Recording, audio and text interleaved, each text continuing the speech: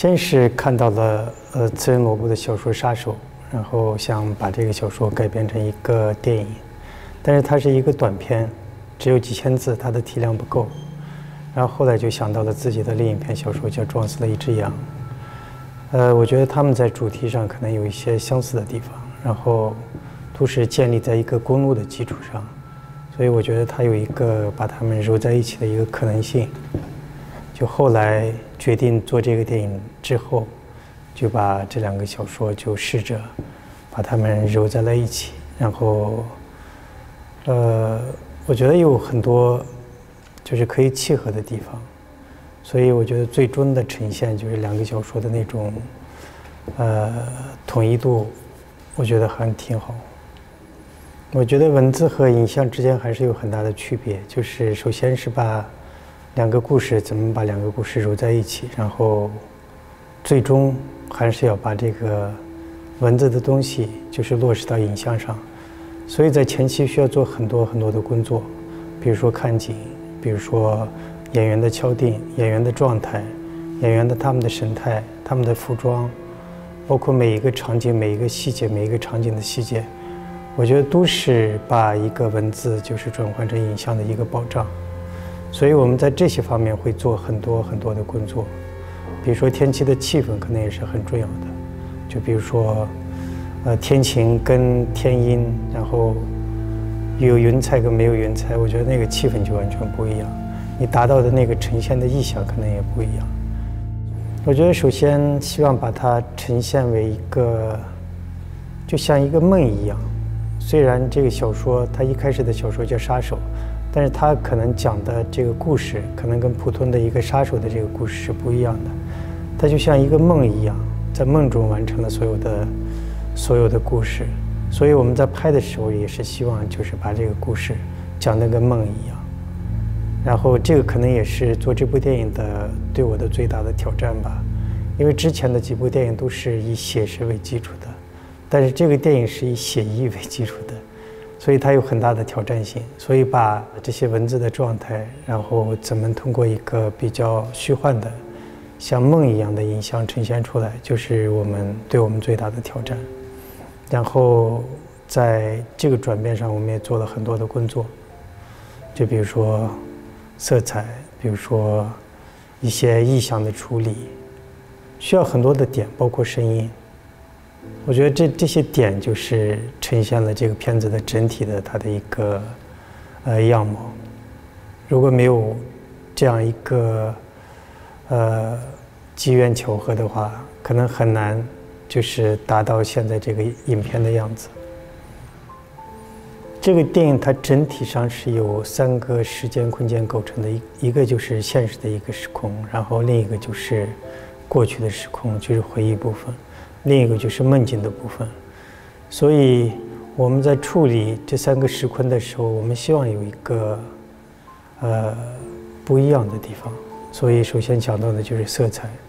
所以我们在拍的时候就跟摄影师商量，然后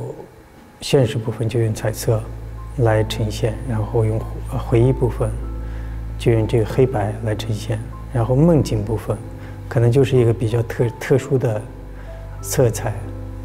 就如同咱们平常做梦一样，可能你会看到一些比较特殊的、不一样的色彩在里面，在梦的里面。整体就希望这个片子有一种荒诞感，就像梦境一样，它可能有很多超现实的东西，有很多荒诞的东西。所以在音乐上也是，呃，我们希望它有一种荒诞的成分在里边。比如说《我的太阳》，这个在剧本阶段就已经写到了。因为剧情，它跟剧情是有关系的。就是一开始，这个司机他喜欢听藏语版的《我的太阳》，然后这个《我的太阳》这个歌，它跟剧情就是他的女儿，这个司机有一个女儿，呃，这个女儿对他来说就像他的太阳一样，所以在剧情上也有一个对应。然后这样一个歌曲、一个音乐的设置，一直会贯穿到这个梦里面。然后在现实里面，司机听到的是藏语版的这个《我的太阳》，然后他自己也会唱这个藏语版的《我的太阳》，但是到梦里面就变成了这个意大利语版的《我的太阳》，就完全成了一个超现实的，就像咱们的梦一样，可能咱们在梦里面可能会说很多就是自己在现实生活中不会说的语言，或者唱很多自己在现实生活中不会唱的这样一些歌曲。所以把这个歌曲就是这样一个西方的一个非常经典的歌曲，然后把它揉到这个剧情里面，然后让它成为剧情的一部分吧，有机的一部分，一直贯穿到最后。我觉得这个可能，呃，一方面就是强化了那种荒诞感，另一方面也让这个现实和呃超现实之间有了一个对应。这个是就是剧情里面，就是剧本里面本身带的一个音乐。另外一个就是请林强老师做的一个音乐，我们也是沟通之后就希望他，呃，有一个这个音乐它有一种比较虚幻的一个超现实的那样一个特色，所以他在做的时时候也是，他也参考了很多的，嗯，藏族的音乐，然后他在这个音乐里面揉进了一些藏族的音乐的元素，然后同时又让这个音乐具有了一种超现实的感觉。我觉得这个音乐。让那个片子整体呃有了很大的提升，然后增强了片子的那种呃超现实的那种感觉。然后另外一个就是片尾，我们用了一个藏区的一个呃有一个乐队叫西藏病人，然后他的这个歌词就叫转经道上的屠夫。我觉得他的这个歌词，呃，然后他这种演唱的风格，然后他在。歌曲里面的这种情绪，跟整部片子所要传达的那种情绪非常的吻合，所以我们选择这部就这首歌作为呃这部片子的主题曲。你在片尾可以看，可以听到这首歌。我觉得它跟这个片子所要呈现的那种呃气质、情绪非常的吻合。我觉得，因为梦它有荒诞性，它有超现实的部分，超现实的这样一些意象在里面，所以对于梦，我不太想做一个像现实一样的一个推荐，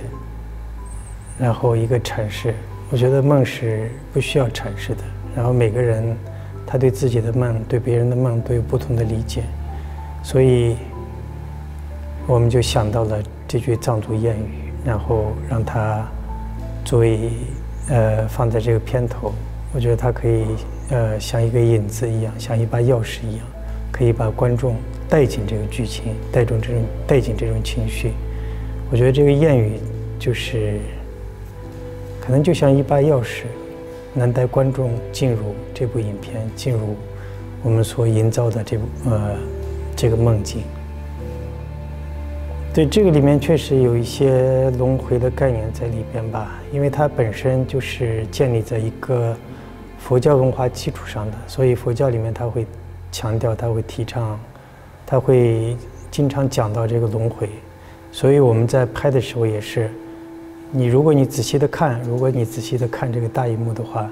你可以看到很多那种设置，比如说一开始这个司机他撞了羊。然后那个地点到最后，他这个轮胎爆了，他做梦的这个地方，其实同一个地方拍的，其实就是做了这样的同样的设置，就希望它形成一个轮回，然后观众可以看到那是一个起点，同时那也是一个终点，就是刻意的可能，对，有这样的概念在里边。